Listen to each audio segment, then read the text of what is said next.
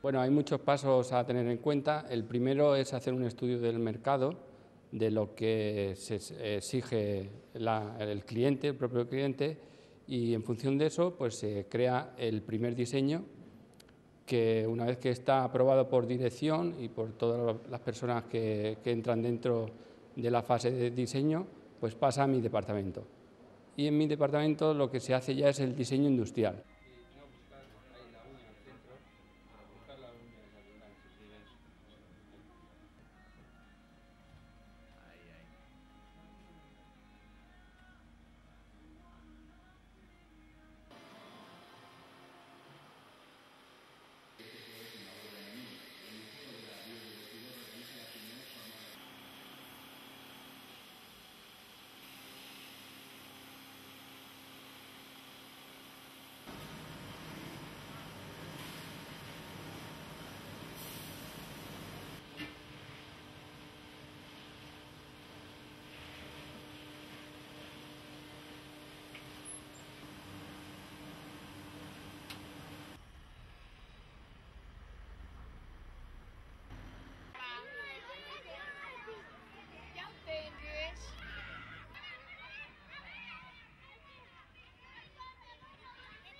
Conocer un poco dónde se fabrican, cómo son por fuera las fábricas y luego pues al venir eh, primero experimentar los juguetes aquí a la ludoteca y luego conocer cómo eran los juguetes antiguamente en el Museo del Juguete también para completar un poco la visión total de lo que ha sido siempre el juguete y lo que es ahora.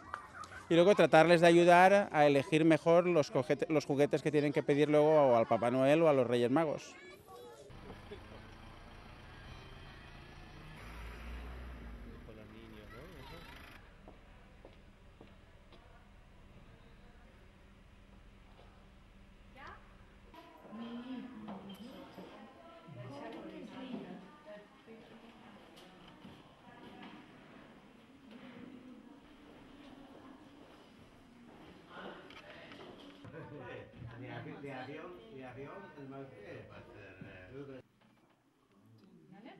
Y ahí tienen las maquinitas para ver.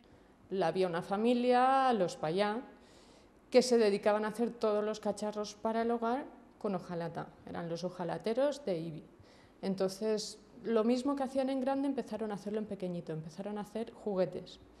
Vieron que, gustaban mucho esas piezas en pequeñito y empezaron a dejar de lado su tradicional trabajo de hojalateros y empezaron a fabricar juguetes. Crearon la primera empresa juguetera de, de aquí de Ibi y de los mismos trabajadores de esta primera empresa se fueron saliendo y montando sus propias empresas.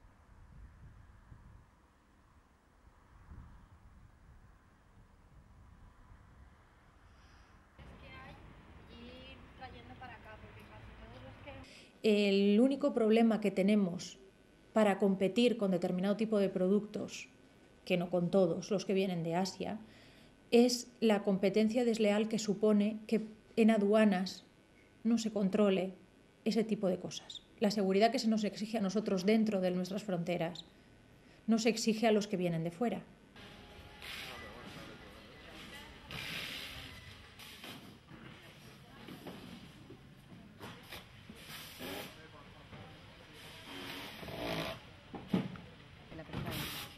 Dale, dale un golpecito. Ahora esto.